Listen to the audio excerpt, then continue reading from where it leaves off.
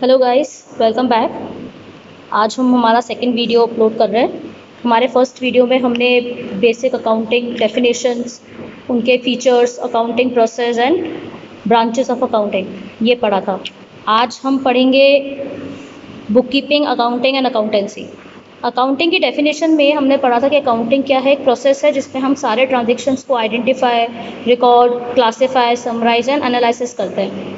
आज हम लोगों ने इन पूरी अकाउंटिंग साइकिल को दो पार्ट्स में डिवाइड किया है। जिन पार्ट्स को हम किस नाम से जानते हैं? बुक कीपिंग और अकाउंटिंग तो डिटेल में पढ़ते हैं, क्या है? सबसे पहले हम बात करते हैं किसकी? बुक कीपिंग की। तो बुक कीपिंग क्या है? बुक कीपिंग में हम लोगों ने जो आइडेंटिफिकेशन रिकॉर्डिंग एंड क्लासीफाइंग तक का जो प्रोसेस था, उसको हमने बुक कीपिंग बोल दिया। ओवरऑल जो हमारे स्टेप्स थे, उसमें आइडेंटिफाई रिकॉर्डिंग एंड क्लासीफाइंग इन तीन को अगर हम बनाते हैं तो वो हमारा बुक कीपिंग होता है। तो बुक कीपिंग का मतलब क्या है? Book keeping is a art of recording and classifying the business transactions हम लोगों ने क्या क्या पढ़ा था अकाउंटिंग साइकिल में? हमने टोटल चार स्टेप्स पढ़े। आइडेंटिफाई रिकॉर्डिंग क्लासीफाई समराइज ये चार स्टेप्स हमने पढ़े। तो आइडेंटिफाई रिकॉर्डिंग एंड क्लासीफाई यहाँ तक के स्टेप्स को तो हम कहते हैं बुक कीपिंग और इसके बाद के जो स्टेप्स है लाइक समराइजिंग जिसमें trial balance trading and profit and loss account and balance sheet trial summarising analysis इन दोनों को हम कहते हैं अकाउंटिंग तो स्टार्टिंग के जो तीन स्टेप्स हैं, ये तीन स्टेप्स तो कहाँ आते हैं? बुक कीपिंग में, और उसके बाद के जो स्टेप्स हैं, वो कहाँ आते हैं? अकाउंटिंग में।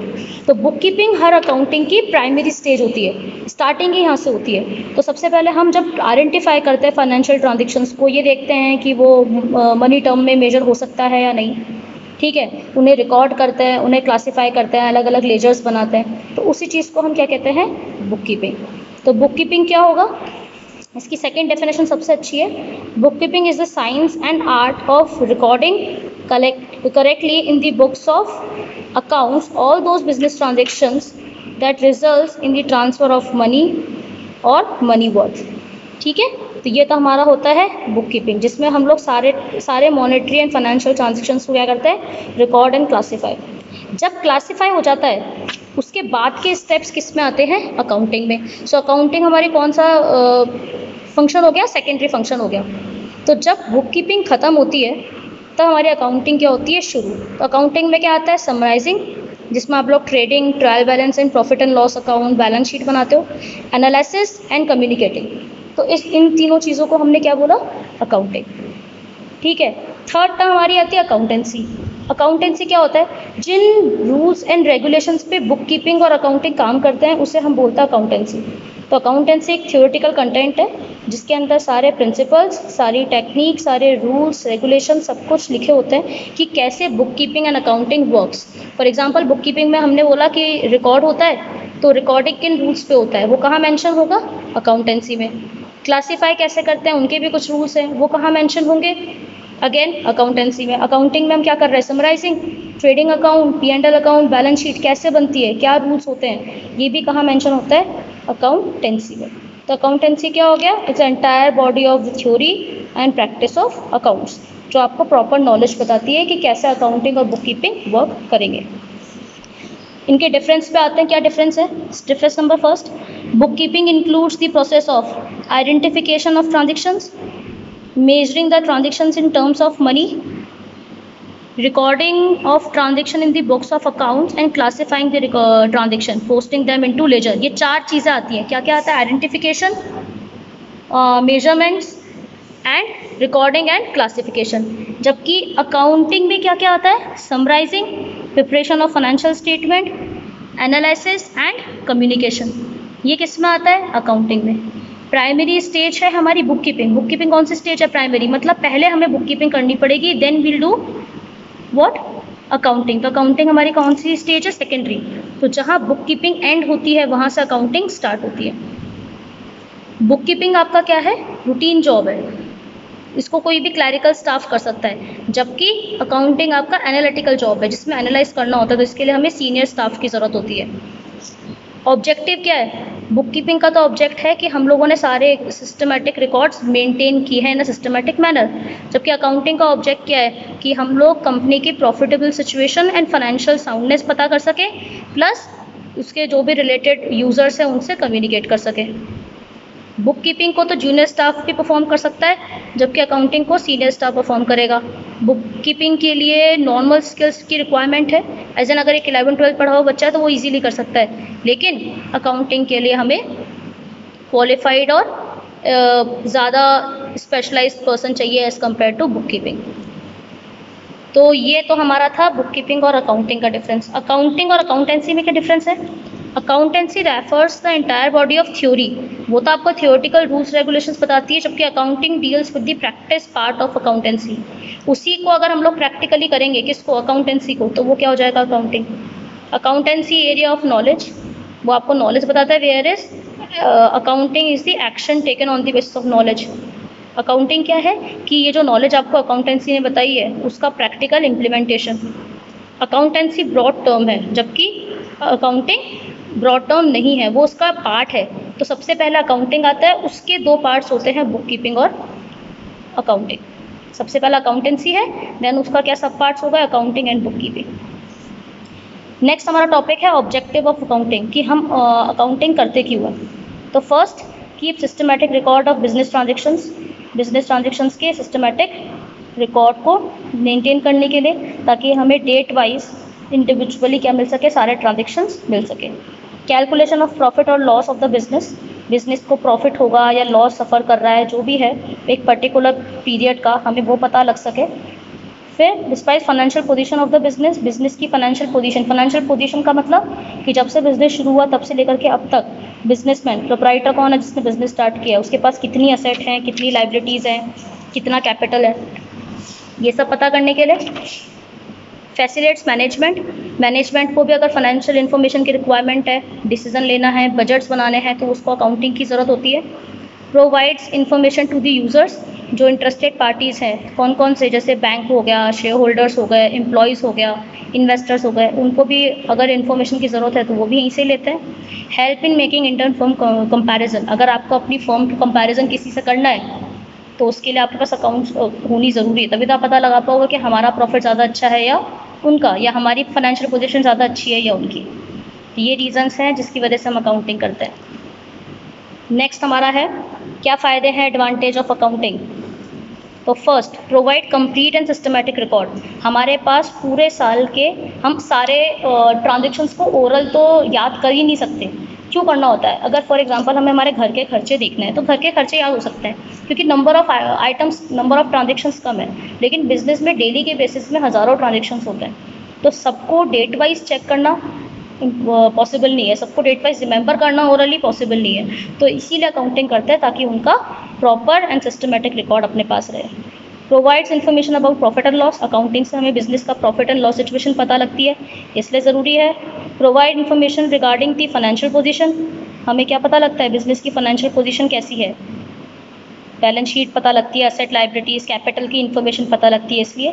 फैसिलेट कंपेरेटिव स्टडीज़ कि अगर हम चाहें तो हमारे बिज़नेस को हम दूसरे बिज़नेस से कंपेयर कर सकते हैं on the basis of profits and financial positions helps in taking manager decision management को डिसीज़न लेने में हेल्प होती है क्योंकि वो पास्ट रिकॉर्ड के बेसिस पे जजमेंट ले सकता है। Help in settlement of tax liability जब गवर्नमेंट को हम टैक्स पे करते हैं तो गवर्नमेंट हमसे रिटर्न अकाउंटिंग स्टेटमेंट्स मांगती है। तो लाइबिलिटी पे करने के लिए ज़रूरी है। फैसिलिटिंग इन टेकिंग लोन अगर आप बैंक से लोन लेने चाहते हो तो बैंक भी आपसे क्या मांगेगा? आपका फाइनेंशियल स्टेटमेंट मांगेगा। Act as a proof in the court of law अगर हम कोई फर्म पे केस करते हैं क्लेम करते हैं तो उस क्लेम में ये जो स्टेटमेंट्स होते हैं, ये एज अ एविडेंस सपोर्ट में लगाए जा सकते हैं। Helpful in detecting errors and frauds इस अगर हम लोग जो अकाउंट्स करते हैं, उसको हम चेक करवा सकते हैं। जैसे हम बोलते हैं ऑडिट तो उससे पता लग जाता है कि हमारे एरर्स कितने हैं और फ्रॉड्स कितने हैं उससे हम उसे मिनिमाइज़ कर सकते हैं। फैसिलेट सेल ऑफ़ बिज़नेस अगर कोई बंदा बिज़नेस बेचना चाहता है तो उसको एक परचेज कंसिड्रेशन एक अमाउंट डिसाइड करना पड़ता है। कि कितने में बिज़नेस बेचेगा? तो वो आराम से अपनी सारी असेट लाइबिलिटी कैलकुलेट करके इन स्टेट अकाउंटिंग स्टेटमेंट्स के थ्रू क्या कर सकता है? सेलिंग प्राइस कैलकुलेट कर सकता है। ये तो होगा फ़ायदे अब नुकसान क्या है? Limitation of accounting based on accounting concept and convention accounting जो है, उनके खुद के बेसिक रूल्स बेसिक प्रिंसिपल्स है बेसिक कंसेप्ट कन्वेंशंस है। सॉरी ठीक है तो उसकी वजह से कई बार क्या होता है? जो हम फाइनेंशियल स्टेटमेंट्स इशू दिखाते हैं, वो रियलिस्टिक नहीं होते। For example fix assets are valued at historical cost ये एक प्रिंसिपल है कि हमेशा असेट्स को किस कॉस्ट पे दिखाया जाएगा? हिस्टोरिकल हिस्टोरिकल मतलब जिस कॉस्ट पे उसको ख़रीदा था। अब अगर हम लोगों ने सपोज़ पाँच साल उस असेट को अपने पास रख रखा है। एग्ज़ाम्पल के तौर पर पाँच साल पहले मैंने एक कार खरीदी पाँच लाख में। According to the concept according to the principle हमें उस कार को हमेशा पाँच लाख पे शो करना है। पाँच साल बाद भी वही कार मेरी बैलेंस शीट में कितनी की दिखा रही है? पाँच लाख। जबकि पाँच लाख उसकी वैल्यू रही नहीं। Right right? तो जो वैल्यूज़ कई बार हम जो शो करते हैं, वो रियलिस्टिक नहीं होते। Based on personal judgement accounts के अंदर आपका पर्सनल जजमेंट मैनेजमेंट का बहुत मैटर करता है। कि हमें फॉर एग्जांपल किसी एक चीज़ को कैलकुलेट करने के तीन से चार मेथड है। है ना? और उनसे आंसर्स अलग अलग आ रहे हैं। कौन सा मेथड यूज़ में लेना है? मैनेजमेंट डिसाइड करता है। जैसे डेप्रिसिएशन को कैलकुलेट करने के बहुत सारे मेथड्स होते हैं और हर मेथड से आंसर अलग आता है। असेट अलग आती है डेप्रिसिएशन की वैल्यू अलग आती है। तो अब ये पर्सन टू पर्सन डिपेंड करता है कि वो किस पे लेगा। तो उस कंडीशन पे कंपैरिजन करना थोड़ा मुश्किल हो जाता है। बेस्ड ऑन हिस्टोरिकल कॉस्ट अभी बताया हिस्टोरिकल कॉस्ट मतलब जो फिक्स असेट्स है उसको हम किस वैल्यू पे दिखाएँगे? जिस वैल्यू पे उसको हमने परचेज किया था, जबकि ये रियलिस्टिक नहीं है तो ट्रू फाइनेंशियल कंडीशन पता नहीं लगती। Lack of qualitative information accounts का फ़र्स्ट फीचर था कि हम सिर्फ़ उन्हीं को रिकॉर्ड करते हैं जिनको फाइनेंशियल टर्म में या क्वान्टिटीज़ में मेजर किया जा सके। तो क्वालिटीज़ को अकाउंट्स क्या करता है? इग्नोर करता है, जबकि इंपॉर्टेंट है। जैसे वर्कर्स की लॉयल्टी मैनेजमेंट की एफिशिएंसी ठीक है एम्प्लॉयर एम्प्लॉय का रिलेशन मैनेजमेंट की गुडविल ये सब इंपॉर्टेंट है, लेकिन इसको आप एग्जैक्ट पैसे में कन्वर्ट नहीं कर सकते। हमने कहा वर्कर्स आर लॉयल कितने लॉयल अब इसको मनी में कैसे कन्वर्ट करोगे? तो इसलिए अकाउंट्स उसको रिकॉर्ड नहीं करता, जबकि बिज़नेस के लिए ये चीज़ इंपॉर्टेंट है। ठीक है?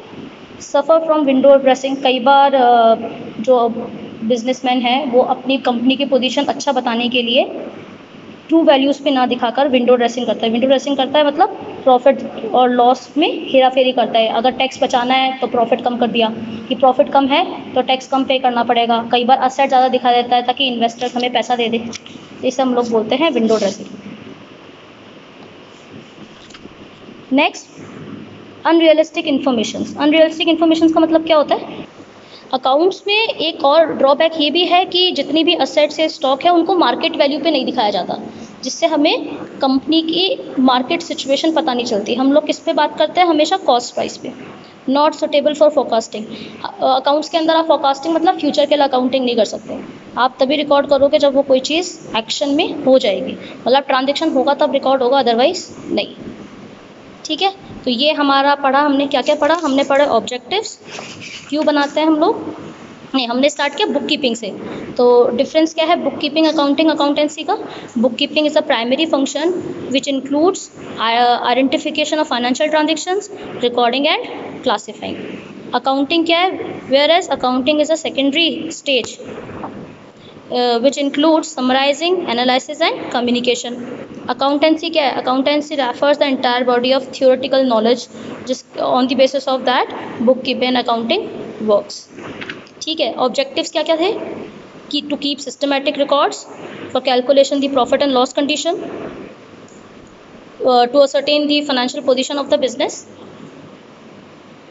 facilitate management for decision making provides information account uh, information to the users and help in making inter-firm comparison ठीक है एडवांटेज सिमिलर एडवांटेज है again systematic record information about the profit और loss provide information regarding the financial position comparative studies help in taking manager decisions settlement detects liability facilitates in taking loan act as a proof in the court of law in case of any dispute and claim helpful in detecting errors and frauds and facilitate sale of business for calculating the selling price of the business or goodwill. Limitations kya the? The accounting is based on concepts and conventions. It affects personal judgment based on historical cost, lack of qualitative informations, suffer from window dressing, unrealistic informations and not suitable for the forecasting. तो यहाँ तक का हमने पढ़ लिया है। Total chapter के आप लोगों को अभी तक शॉर्ट नोट्स बनाने हैं, ठीक है? इनकी जो जुड़ी हुई प्रॉब्लम्स है, वो हम लोग हमारे लाइव सेशन में ख़त्म करते हैं। मैंने आपके लिए ऑब्जेक्टिव एक क्विज़ रेडी की है। तो वो क्विज़ सॉल्व करके इनके क्वेश्चंस कैसे फ्रेम होते हैं, वो हमें पता लग जाएगा तो चैप्टर प्रिपेयर हो जाएगा। बाकी कोई भी इन्फॉर्मेशन हो या कोई भी क्वायरी हो तो आप लोग मुझसे पूछ लेना, बाकी हम लाइव सेशन में इसको सॉल्व करेंगे। Thank you and take care